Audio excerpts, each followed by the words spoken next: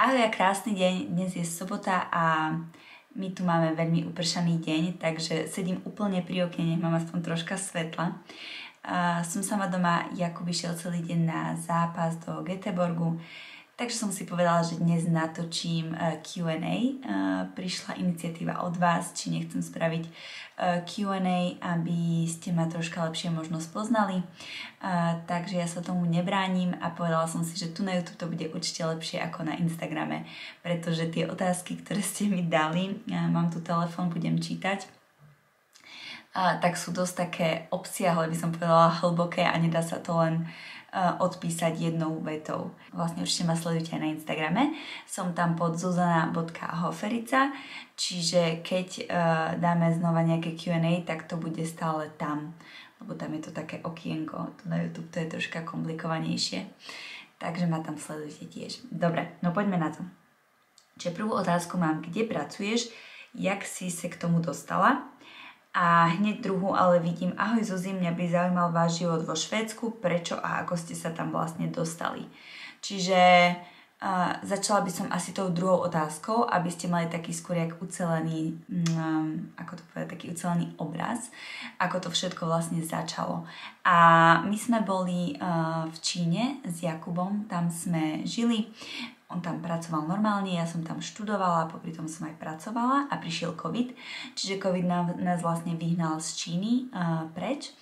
No a ako sme tak boli na Slovensku, ja som teda ešte mala uh, posledný rok štúdia na vysokej škole, všetko bolo online, čiže ja som študovala online z domu, zo Slovenska ale Jakub sa veľmi nudil. On, eh, keďže je hokejový tréner, tak nemal kde trénovať. Všetky hokejové kluby boli vlastne zatvorené na Slovensku, aj v Čechách myslím. Čiže začal eh, pátrať, eh, kde by mohol kde by mohol niečo robiť, nejakú prácu s tým hokejom, až e, prišiel k tomu, že Švedsko je úplne otvorené. Oni totiž, určite si pamätáte, Švedsko bolo najviac kritizované zo všetkých krajín Európskej únie, pretože oni tu nenosili ani rúška, všetko tu bolo otvorené, oni jednoducho stále len dodržiavali tie odstupy dvojmetrové, e, nedávali si vôbec ruky, si pamätám ešte, keď my sme tu prišli, ešte takto rok sa tu fungovalo, že keď som sa s niekým zoznamila, tak si dávali takto lakťovky, um, ale len tak na krok od seba a v obchodoch sa fakt dodržiavali veľmi prísne um, metrové alebo dvojmetrové rozostupy, aj keď sa napríklad platilo. Čiže uh, bolo to tu tak, um, tak akože poňaté troška inak ako na Slovensku a v Čechách, kde sme mali fakt prísne opatrenia. No a jednoducho on uh, sám na vlastnú pec začal písať uh, do hokejových klubov maily a niektoré hokejové kluby mu odpísali a akurát, bol taký uh, termín hokejových kempov tu cez leto. Každý klub si väčšinou robí nejaký hokejový kemp. Čiže uh, dva kluby, myslím, alebo tri ho pozvali na tie hokejové kempy. No a on prišiel a vlastne uh, odrobil si to tu úplne zdarma, zadarmo všetko, eh, čiže um, fakt úplne sám, ja som bola teda stále doma, uh, prišiel tu sám do Švedska, no až sa mu dva kluby zapáčili a dokonca aj on sa zapáčil im a dali mu pracovnú ponuku hneď od septembra, aby normálne na celú sezónu tu bol ako hokejový tréner. Čiže uh, on tu v septembri prišiel, ja som teda mala už úplne posledný semester v Prahe. Uh, ja som teda študovala, tu som to inak tiež mala otázku, že čo som vyštudovala, tak rovno odpoviem, že som vyštudovala Vysokú školu ekonomickú v Prahe, uh, medzinárodný obchod, čiže mala som posledný semester, stále bol ešte online cez Teams, čiže ja som, ja som tu vlastne s ním prišla a študovala som odtiaľ online, ja už som mala len fakt, že možno posledné dva nejaké predmety. Čiže ja som si tu fakt chodila takže do posilky a jednoducho mala som taký voľný režim, stala som sa vlastne hlavne o seba a písala som myslím aj nejakú, neviem, či to ešte diplomka sa písala, alebo už bola odovzdaná.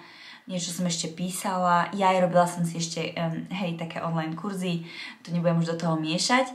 A vlastne potom som prišla v januári akurát odštátnicovať. No odštátnicovala som, stala som sa teda inžinierom ekonomickým a prišla som tu naspäť. S tým, že začala som hneď rozposielať životopisy do všetkých firiem, do ktorých som tu našla, nejaké také, čo by ma mohli zaujímať, respektíve aspoň do veľkých korporátov. Čiže najväčší korporát úplne tu v našom meste, kde bývame je Jönköping, čiže to má okolo 100 tisíc, má jednoducho obyvateľov, tak najväčšia firma tu je Husqvarna. Uh, ona vlastne tu aj vznikla v dedinke Husqvarna, kde my teraz aj bývame. je to také metúce, pretože firma sa volá Husqvarna, aj dedinka sa volá Husqvarna, ale s káčkom a firma je s kvečkom. Uh, čiže uh, tam som verila, že sa dostanem, pretože to uh, bola ako hlavný jazyk bol angličtina, keďže ja som švedštinu sa neučila. No a tak som rozposielala všade životopisy a samozrejme nikto mi neodpísal, lebo moje životopisy boli v angličtine, švedsky som vôbec netušila, nevedela nič. Čiže ubehol február, ubehol marec, ubehol apríl, stále nič. Ja už som teda začala poslať životopisy úplne, že všade. Uh, začala som poslať životopisy aj do McDonaldu, do KFCčka, do hotelov, na recepciu. Uh, samozrejme stále bol ten problém, si myslím, hlavne švedština. Pretože Švedi, oni všetci rozprávajú anglicky, ale aj tak tú svoju švedštinu myslím si, že vyžadujú uh, v hociakej práci. Čiže už som bola fakt zúfala, bolo to obdobie, kedy som bola fakt, že úplne deprimovaná, demotivovaná, pretože som videla, že Jakub robí, e, čo ho baví, čo má rád, e, je naplnený a ja som bola totálne nenaplnená. Snažila som sa aspoň vtedy práve, to som mala tiež tú otázku, že ako vzniklo cvičení se Suzy, tak to vzniklo samozrejme v covide, aj vtedy som začala natáčať na YouTube pravidelne, na Instagram veľa príspevkov, pretože to ma jediné fakt držalo pri živote, že ma to bavilo, robila som čo ma baví, cvičenie a mohla som zároveň tak aj odovzdávať to cvičenie alebo tú radosť s palutancom a podobne ďalším ženám a prichádzali mi super spätné väzby, čiže fakt asi to jediné ma držalo pri živote. Keby som nemala to, tak ja neviem, čo by som robila, ale aj tak som skoro každú, každý večer e, dostala úplne mindráky, plakala som, veľa som plakala, možno každý deň, každý druhý. Samozrejme som to prenašala aj na Jakuba, čiže to absolútne ne, neprospievalo ani nášmu vzťahu. Až na konci apríla mi odpísali z hotela, e, taký, ktorý je tu fakt, že veľký hotel a celá sieť po celej Škandinávii, e, že ma e, pozývajú na pohovor, ale pozícia bola upratovačka hotelových izieb. No a ja už som v ten moment bola tak zúfala, že vlastne už som si povedala, že hociaké peniaze aj chcem už hlavne a že idem, že si to jednoducho odrobím, lebo bolo to len na letnú sezónu, vlastne júl, august, dva mesiace. Vrajím si, aspoň si zarobím, že to vydržím. No ale ako som tam chodila do tej práce, tak som bola z toho ešte viac deptaná, s tým, že vlastne ja som tam upratovala tie izby, s tým, že do Riti a ja som inžinier a študovala som 5 rokov, bola som v Číne, študovala som ďalšie 2 roky a čo tu robím? Upratujem tu, hej? Čiže úplne som bola fakt z toho celkom zlá a bolo to fakt, fakt, fakt ťažké obdobie. Až uh, na konci augusta som, vlastne začala som už v júni chodiť na švedštinu. Úplne každý deň uh, tu na kurz Dobre je, že švedská vláda vlastne každému poskytne ten kurz zdarma. Každý, kto tu príde, môže ísť, e, to je taká škola SFI sa to volá, čiže e, ktokoľvek sa rozhodne, ide jednoducho študovať zdarma každý deň. Čiže toto je super, že takto švedská vláda podporuje zahraničných. Čiže ja som to fakt využívala, naučila som sa tie základy, už som sa tak cítila, že OK, lepšie to viem, tak som úplne, že presviečala manažerku hotela, že chcem ísť na raňajky každý deň ráno. Čiže nakoniec som ju fakt presvedčila a uh, Uh, začala som tak najprv chodiť na skúšku, že aj som pratala, aj som chodila na raňajky, potom som už chodila len chystať tie raňajky. Samozrejme mi to bolo lepšie, pretože to bolo medzi 5 a 11 myslím a potom som už mala celý deň voľný. nejako keď som pratala, pratala som až do 4. alebo 5. večer.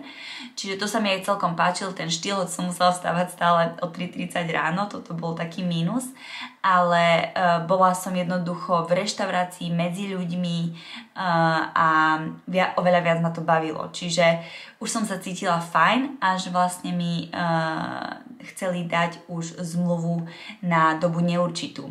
Myslím, že to bolo od 18. septembra alebo nejak tak. A musím povedať, že presne v ten deň, keď som mala ísť podpisovať zmluvu, mi odrazu zazvonil telefón a zavolal mi manažer, samotný manažer a nie HR z Husqvarny, že uh, má tu môj životopis, či ešte stále mám o prácu záujem. Hej, vlastne ten životopis, čo som posielala do tých firiem asi vo februári a nikto mi neodpísal. Asi podľa mňa ho každý vyhodil, keďže bol v angličtine. No ale on fakt doteraz asi budem, aj som mu vďačná, pretože mi zachránil život. Nie je to teraz môj terajší manažer, jednoducho bol to iný manažer, že hľadajú niekoho, kto im pomôže s jedným projektom. Je to projekt na 3 mesiace, či mám záujem. A ja vravím, že uh, určite tak uh, ako prídem na pohovor, nie? Ale mala som v ten deň podpísať tú zmluvu v tom hoteli vlastne na kvázi ako čašnička, neviem, asi nie čašnička úplne, jednoducho to je jedno ale vravím si, že OK, že idem. No a oni, mala som pohovor asi so 4 ľuďmi naraz a vlastne uh, myslím, že tam boli vzájomné sympatie, až mi teda povedali, že uh, by ma zobrali na ten projekt. No a ja som si teraz povedala, že OK, tak uh, čo teraz, tak asi nepodpíšem tú zmluvu v hoteli na tie raňajky, ale že pojem teda tam, tak som to tam vysvetlila v tom hoteli, hej, ako pochopili to.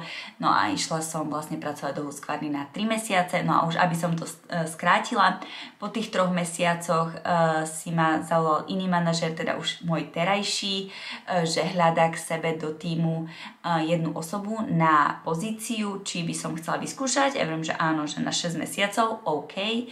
Čiže vyskúšala som na 6 mesiacov, po tých 6 mesiacoch mi dal zmluvu na 1 rok.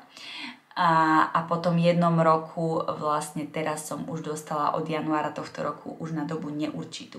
Čiže to bol celý ten proces toho, nebolo to vôbec ľahké, čiže my sme tu nešli žiadne cez že by agentúru, žiadne, že by sme to nejako plánovali, vôbec um, a vlastne tým, že to bolo cez COVID, tak všetko COVID to vlastne zariadil uh, a asi tu teda zatiaľ to vyzerá tak, že, že ostávame.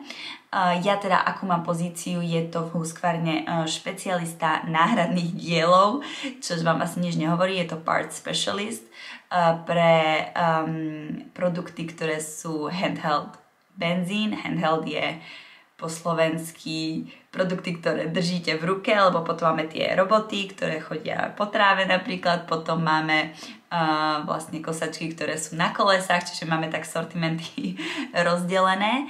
No a ja vlastne čo robím sú úplne že technické veci, čiže pre mňa tá práca bola fakt e, úplne ťažká, není to v tom vlastne, čo som študovala, Čiže ja som sa fakt, e, pre mňa to bolo taká úplne taká challenge, že mala som sa stále čo učiť, pretože to je úplne, že fakt, že technický odbor.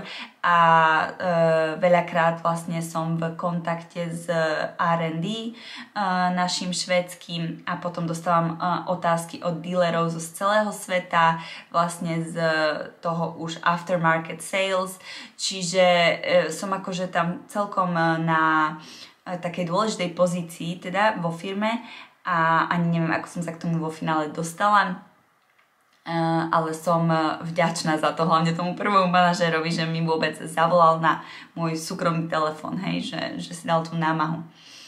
No, takže uh, asi tak v skratke, teda ako sme sa dostali do Švédska, kde pracujem, ako som sa k tomu dostala, je teda, že e, sama e, som si posielala životopisy, ale viem, že vlastne aj veľa Slovákov, ale to je hlavne tí, ktorí sú asi skôr na stavbe v Štokholme, v Göteborgu. Myslím, že tu existuje agentúra, cez ktorú e, sa tu vlastne tí ľudia dostávajú, ale teda náš prípad to, to nebolo. Takže tak. Ďalšia otázka, čo ti najviac chýba zo Slovenska? Takže zo Slovenska mi určite najviac chýba uh, rodina, uh, kamaráti samozrejme.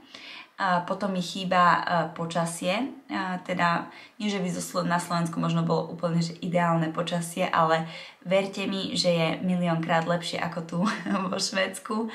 A tu vlastne, ja mám rada teplo a tu sa ani nedá povedať v lete, že tu je teplo. Tu je jednoducho stále tak, že nemôžete si ísť úplne, že na celý deň len v takých šatkách, lebo to nikdy neviete. Hej, tu sa to rýchlo z, nejako zmení a odrazu začne veľmi fúkať, hej, ten vietor to tak robí také chladnejšie. Čiže uh, toto by som chcela vlastne zažiť ten pocit, že ako na Slovensku, keď je fakt, že leto je leto a jednoducho si ráno výjdem v len kraťasky tričko a neriešim nič. Uh, tu sa to nedá jednoducho. Čiže uh, toto mi na tom vadí ale viem, že um, zima tu nie je až taká, že by tu bola hrozná zima, hej, že viac ako minus 10 tu zvyčajne nie je. Čiže um, mohlo by to byť aj horšie, ale je to ešte v rámci možností, no a ten dáž, čiže to počasie mi tu chýba. A čo mi ešte chýba na Slovensku? Chýba mi asi mentalita ľudí, uh, našich Slovákov. Uh, nie v tom, uh, že um, veľa Slovákov frfle alebo sa stiažujú a stále niečo len, že, že sa stále stiažujú na to, že ako je na tom Slovensku zle a tak. Toto mi nechýba, uh, lebo toto tu je na, vo Švedsku lepšie tí ľudia nie sú takí, ako to povedať, s prepačením takí, že sa stiažujú a tak, nikto sa neurastie. A myslím si, že oni tu žijú taký život, že taký, že pohodička je im dobre, jednoducho v tom Švédsku nemajú ani potrebu nejak, vycestovávať. E, tu je inak veľa Švédov, ktorí nikdy neboli v zahraničí a ani im to nechýba, ani nechcú. Oni aj cez leto väčšinou cestujú po Švédsku, v rámci Švédska teda ale čo mi chýba, aby som sa k tomu vrátila, je mentalita Slovákov, tá taká viac e, otvorenosť alebo štedrosť, taká, um, ako to povedať, že Švéd uh, si dá pred seba takú stenu a veľmi ťažké je cez tú stenu k nemu prejsť a vytvoriť si taký bližší vzťah. Kdežto si myslím, že a na Slovensku toto ide oveľa ľahšie, že my sme takí, že aj že privítame, že keď máme návštevu, že je to také oveľa viac voľnejšie, hej, pohostíme a tak a tu vám poriadne um, vlastne nepripravia ani nedajú nič, hej, ako my dáme, ja neviem, aj alkohol, aj slané, aj sladké, aj, mas, aj masné, aj neviem čo, hej, že kopu jedla a mm, tu veľmi vás ani nepohostia, tak Čiže asi, asi tá mentalita a Slovenčina mi chýba tiež, lebo stále vlastne musím rozprávať anglicky a nie je to také, ako keď rozprávate v svojom vlastnom jazyku. Čiže toto mi tu chýba tiež. No, v čom je iný život vo Švedsku a na Slovensku? Tak jednu, jednu teda som vám už povedala, ten rozdiel si myslím v tej mentalite ľudí eh, k tomu prístupu, tak tiež oni tú prácu, eh, my to berieme na Slovensku aj vo firmách, napríklad keď som pracovala, ja som pracovala v Prahe vo firmách, tak tam je to všetko také akože vážne a tak. A oni tu majú skôr, teda aspoň my u nás vo firme máme viac také voľnejšie troška, Uh, oni často majú uh, tie kávové prestávky, fíka, že neriešia, idú aj do obedu na kávu na, cez pracovnú dobu, potom majú obednú prestávku, idú aj po obede potom na kávu znova, uh, že je to viac také uvoľnené a nič, nič nehrotia. Oni aj napríklad um, keď idete autom, tak uh, to mi každý tu hovorí, kto tu príde zo Slovenska, že stále v Bratislave alebo tak, hej, že každý sa ponáhľa jednoducho tými autami, hej, že uh, jeden, jedno auto tlačí na to druhé a rýchlo, rýchlo, rýchlo.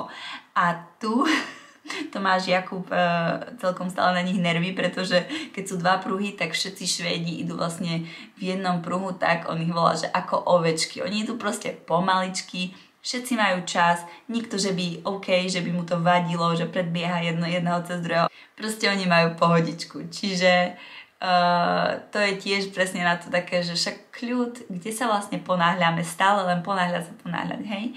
Čiže uh, preto oni tu si myslím, že aj sa celkom dožívajú takého toho vyššieho veku. A čo je tu iné ešte, uh, je, v čom ja cítim veľký rozdiel, je zdravotníctvo. Zdravotníctvo, ja už mám na to fakt veľké nervy.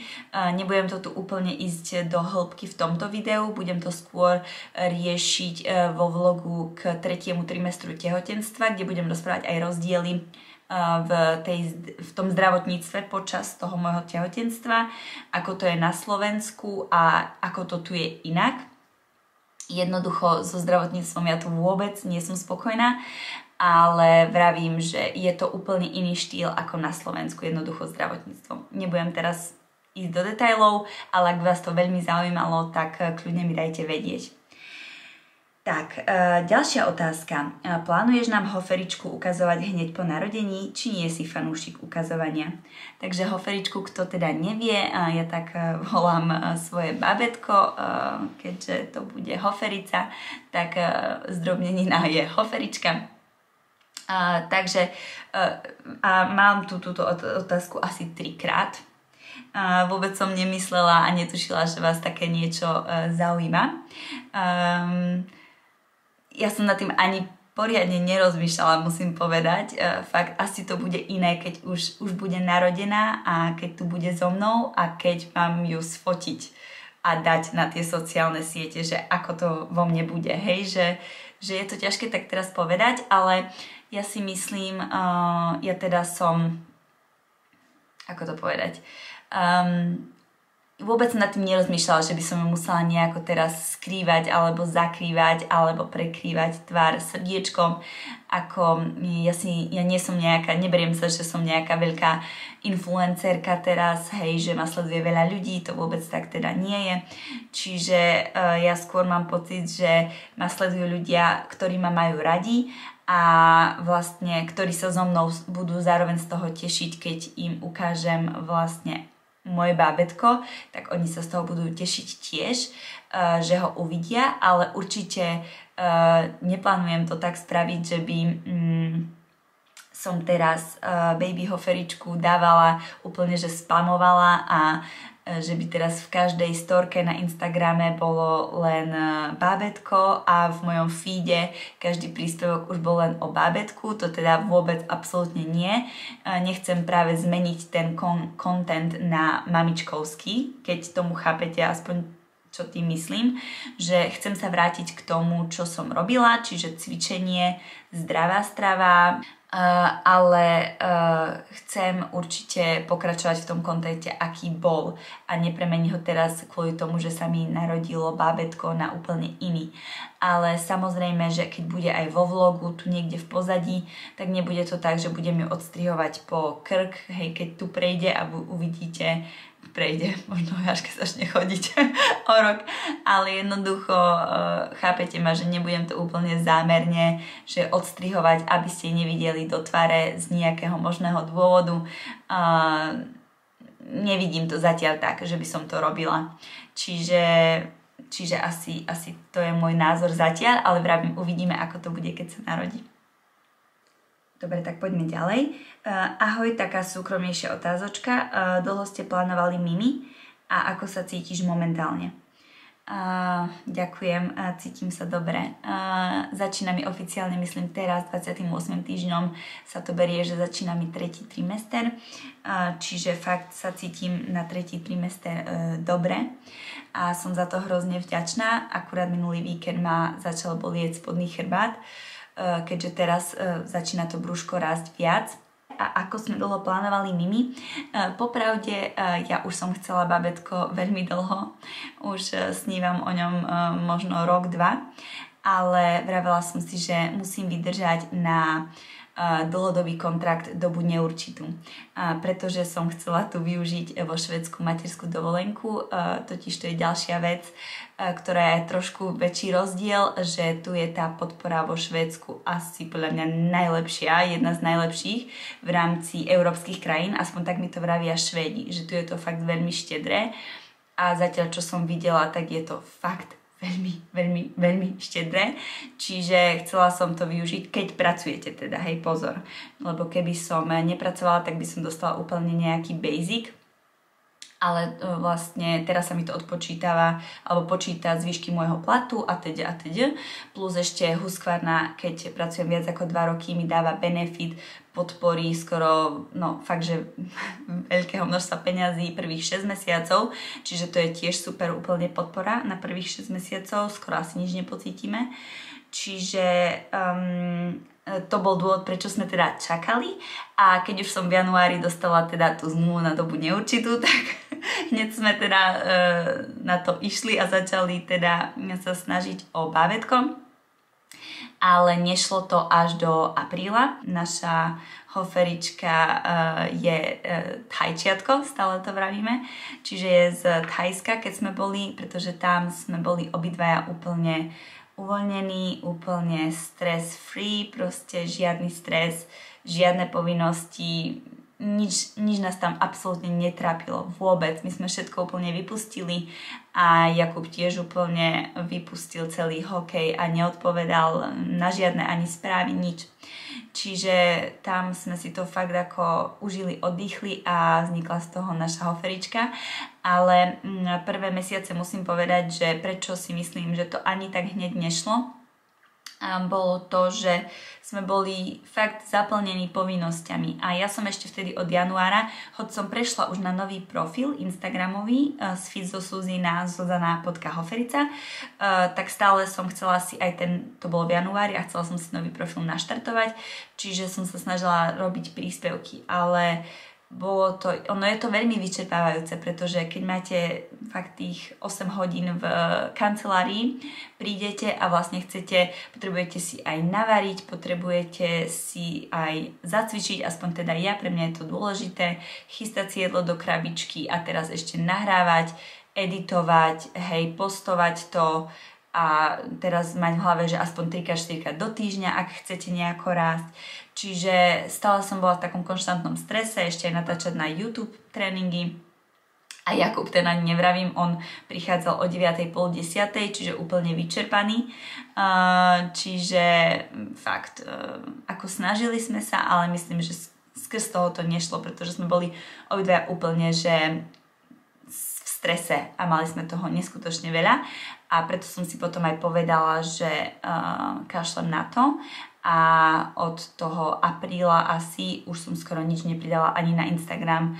Tie príspevky som úplne minimalizovala, hej, že len keď sa mi chcelo cez víkend, keď som mala troška času, uh, tak som natočila príspevok na Instagram, ale vôbec už to nebolo um, také, že ako presne, ak na Instagram by chcel podľa algoritmu a to ste si možno všimli aj teraz, že ja pridám možno jeden príspevok do týždňa, aj to už skôr súkromný a nie o cvičení alebo strave. Povedala som si, že nebudem sa vôbec stresovať teraz počas tehotenstva.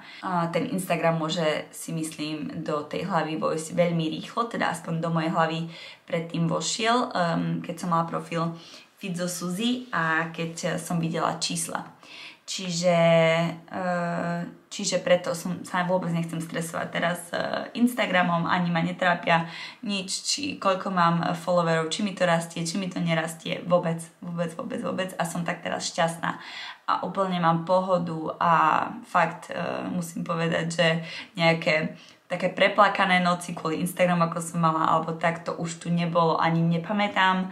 A fakt som, som takto šťastná. Čiže Čiže odporúčanie aj pre vás, podľa mňa musíte stať úplne do mentálnej pohody, keď e, teda plánujete bábetko. E, ďalšia otázka je, chystáte sa niekedy vrátiť naspäť na Slovensko? Tak toto je veľmi dobrá otázka, ktorú ani ja neviem. My máme taký s Jakubom deadline, že už keď budeme mať teda naša hoferička 5 rokov, tak už sa musíme definitívne rozhodnúť, pretože vlastne od 6 začína ísť do školy a to už chceme, aby už sme boli takí, že usadení na tom mieste, kde chceme fakt žiť aj do budúcna a už aby sme tak veľa necestovali hore-dole ako doteraz, stále niekde inde. Aj tu vo Švedsku, toto je už nás, náš štvrtý byt, čo sme tu necelé 3 roky, čiže chápete, že to je stále to stiahovanie a nechceme toto robiť stále s deťmi. Uh, teda s jedným zatiaľ. čiže, uh, čiže tak, no ale Uh, ja teda som mala obdobie, musím sa priznať, kedy som veľmi, veľmi, veľmi sa chcela vrátiť na Slovensko. Bohužiaľ Jakub o tom nechce ani počuť, čiže to máme také odlišné názory na tom. Ale neviem, túto otázku neviem zodpovedať, pretože uh, my teda budeme aj stavať uh, dom na Slovensku pod Tatrami, ale ten dom by mal teda slúžiť skôr na E, ako investícia, e, teda na prenájom, ale pri najhoršom vlastne mohli sme tam aj my žiť, ale mm, mne by sa to teda páčilo pod Tatrami. Ale no, Jakub si myslí, že tu vo Švedsku je hlavne, čo sa týka budúcnosti aj e, našich detí, teda zatiaľ jedného stále vravím, oveľa väčšie, oveľa lepšie, teda viac príležitostí, lepší školský systém a tak ďalej. A, čiže tak, ale ja si neviem predstaviť celý život popravde žiť v tomto počasí, lebo ma to mm, často ako ubíja. E, potrebujem fakt teplo a slnko. Čiže keď tam nájdeme taký kompromis, že nejaké mesiace možno by sme žili mimo Švédska, tak by sa to dalo, ale to musíme mať iné práce a, a na tom pracujeme. E, čiže viac k tomu asi nebudem hovoriť, pretože zatiaľ ani nemôžem, ale ak by som v budúcnosti teda mala niečo, nejakú inú prácu a aj jakú inú prácu, tak by sme, um, možno by sa to dalo takto robiť, že zo pár mesiacov tu a zo pár mesiacov mimo. Nech mám ja doda- to slnko, ktoré potrebujem k životu. Takže ešte je to asi skoro hovoriť, no či sa vrátime. Tak ďalšiu otázku mám, že uh, jak dlouho sa venuješ cvičení? Čiže uh, ja, ja si to úplne pamätám úplne od malička, myslím, že ma k tomu fakt priviedla uh, moja mamka, pretože si pamätám, ako ona si doma uh, cvičila na koberci, uh, hej, čiže to tak si myslím, uh, to dieťa vníma. A uh, potom ona presvičovala aerobik, čiže v telocvični a ja si pamätám, že ja som tam chodila akože s kamarátkami oni cvičili a my sme ako malé deti sa vešali po rebrinách, po lanách a tak ďalej. A potom už keď som troška dokázala cvičiť, tak už som aj ja cvičila ten aerobik s ňou um, a som ju nasledovala a som aj tancovala od malička. A potom viem, že keď ona robila spinning, teda precvičovala spinning, tak som chodila stále pravidelne na jej hodiny spinningu, čiže stále vlastne niečo som s ňou robila, nejaký ten šport a potom som vlastne sama presne v tom pokračovala a nasledovala som ju, že som si už urobila svoje kurzy a potom som ja začala vlastne toto isté robiť, čo ona už počas vysokej školy, že som začala precvičovať. E, mala som v Prahe jumping, e, mala som zumbu, čiže e, začala som robiť tieto lekcie a tu som teda vo Švedsku znova pokračovala so zumbou. Takže, takže myslím, že takto. Jakou máš vystudovanou školu, to sme si už odpovedali. Kde sa vidíš za 5 let? To budem mať koľko? Teraz mám 29, 34. No ako vravím, za tých 5 let približne už by som chcela byť v takom nejakom prostredí, kde chceme žiť. Uh, možno ideálne by sme chceli byť už v nejakom domčeku, ale Uvidíme, neviem, či sa nám to podarí. A robiť už to, čo chcem robiť v budúcnosti. Um, Mojím cieľom nie je úplne uh, robiť uh, do konca života v korporáte alebo v ofise od 8 do 5. Ja mám úplne inú predstavu uh, so svojím životom a uh, čo chcem robiť. A, ale nechcem ešte o tom úplne teda rozprávať. A, takže takže potom už si robiť vlastne presne to za tých 5 rokov, čo, čo chcem reálne robiť už potom na celý život by som chcela. A mať samozrejme rodinku, krásnu. No myslím, že, už to je fakt dlhé, takže dáme si úplne poslednú otázku. A to bude, co ti vždy dokáže vykouzliť úsmev na tvári. Na tváři. No, takže úplne asi fakt jednoduchá vec a to je slnko. Keď vyjde slnko a mňa to úplne fakt pravím dobije, úplne vykúzli mi to fakt úsmev na tvári jednoducho, nechcem tedy sedieť doma, chcem ísť jednoducho von, len tak sa prechádzať, pozerať sa do toho slnka a aby ma to slnko nejako ožiarilo. A keďže tu vo Švedsku to nie je úplne eh, časté, respektíve ono môže výjsť každý deň, aj ale možno len na 10 minút a potom zajde, tak úplne to je ten taký moment, že yes, áno, no takže toto mi asi vie vykozliť úsmev na, na tvári. Dobre, takže ja vám ďakujem, ja už nevládzem ani s hlasom, idem si dať veľa, veľa vody, aj vy sa napite, nezabúdajte na pitný režim. Uh, mňa to bavilo, uh, musím povedať. Uh, dúfam, že ste sa teda o mne dozvedeli takto čo najviac. Ako vrem, sledujte ma na Instagrame zuzana.hoferica. Aj tu do komentára mi ešte niečo uh, pekné napíšte, uh, čo vás zaujalo alebo čo vás možno prekvapilo. Takže majte sa nádherne a vidíme sa v ďalšom videu. Ahoj!